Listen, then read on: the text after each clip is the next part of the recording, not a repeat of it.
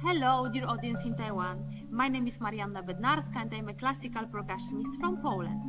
I'm extremely happy and excited for my performances at the Weiwuying International Music Festival, where I will take you on a journey through the spectacular world of percussion instruments with their sounds, colors, and repertoire.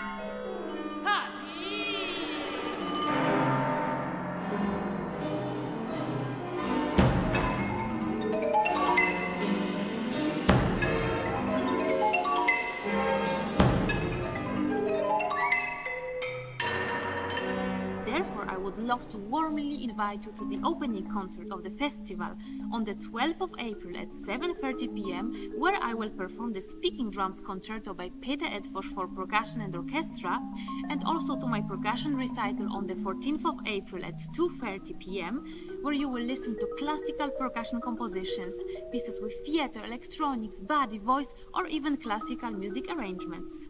Both of these events will take place in the National Kaohsiung Center for the Arts.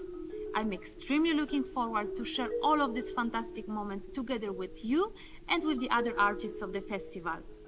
See you in April in Taiwan.